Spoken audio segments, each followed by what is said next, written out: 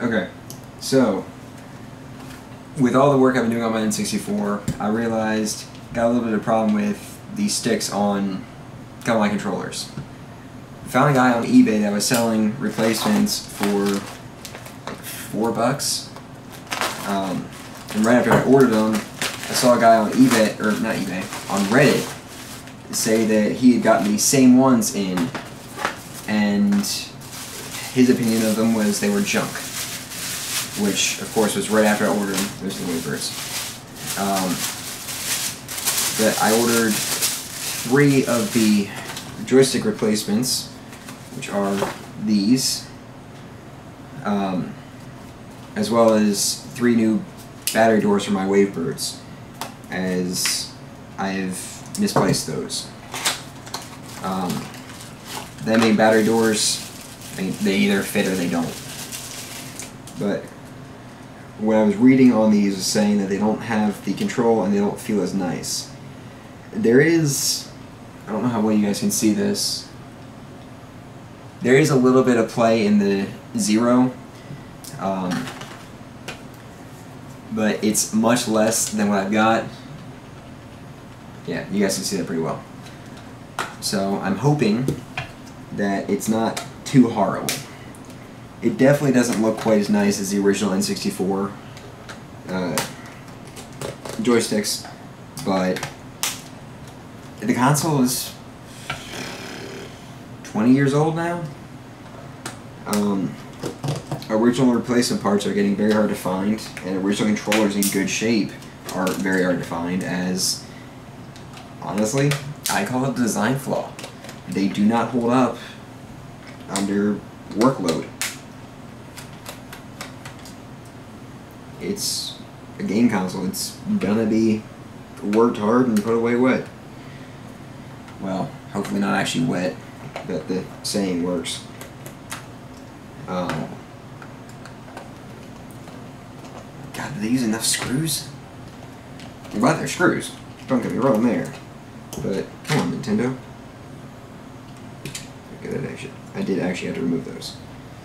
So, we're already in the meter.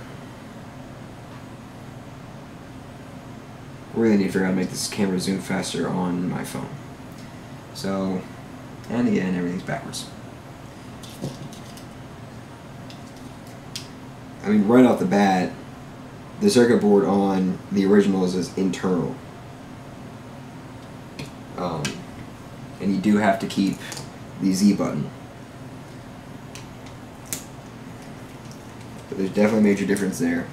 I one of these I actually tried to do something with the joystick. I actually took apart the housing and tried to clean it up, hoping that maybe if I got some of the crap out of it, it might work a little bit better. Honestly, it almost seemed worse.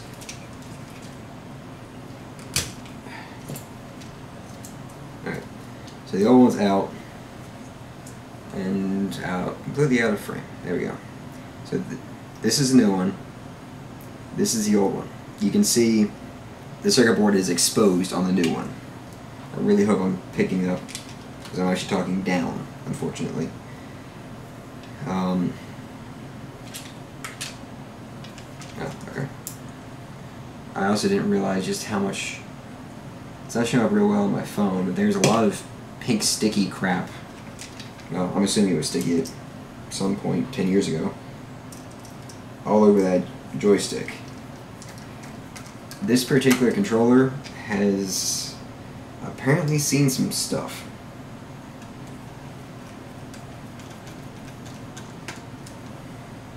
Really, what the guy on Reddit was saying um, was generally just that they're not as nice. And I agree. Right off the bat, they are not as well made as the original Nintendos. But for five bucks, there's not a huge loss if it is a pile of junk. Uh, okay.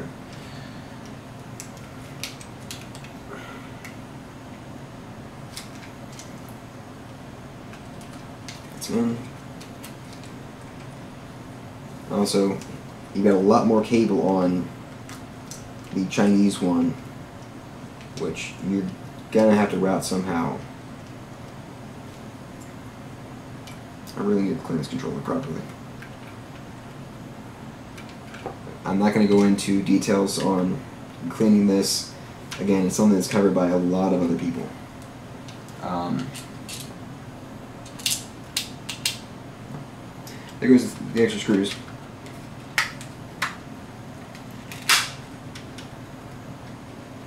Let's see, it's mushy as crap.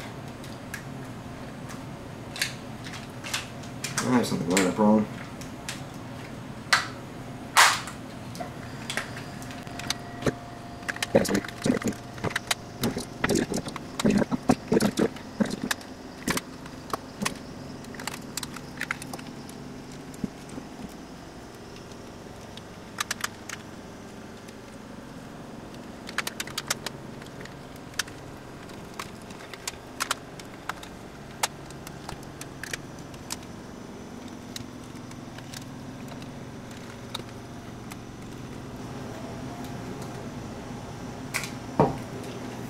Okay.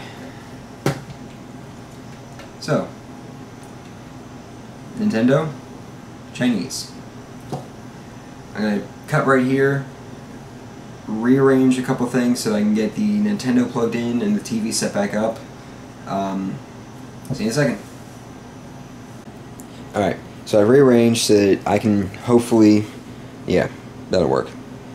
You guys can see what I'm doing as I'm doing it in Star Fox 64,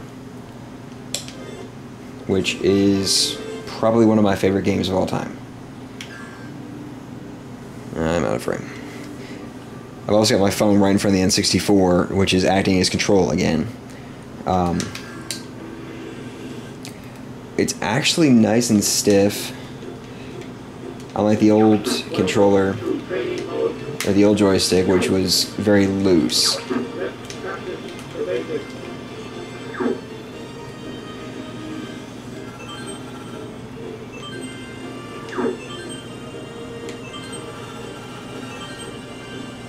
This is actually a really good choice.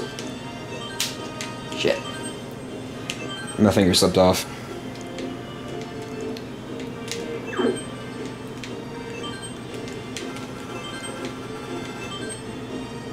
I'm trying to keep in frame. Oh, that was my bad. I missed. I'm not the greatest Star Fox pilot ever. Probably said use a bomb. But the point of this experiment is the stick, which unfortunately is constrained by my flying capabilities. Yeah, I'm still mostly in frame.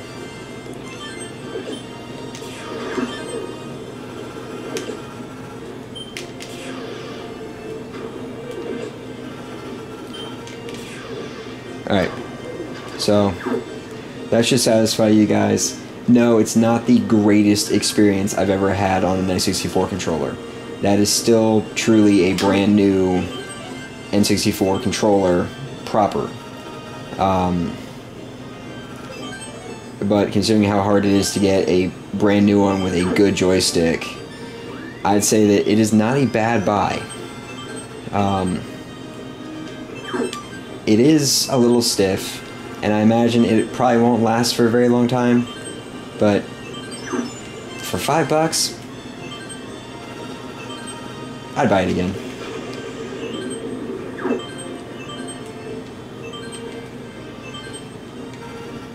Alright, so this one a little longer than I had intended.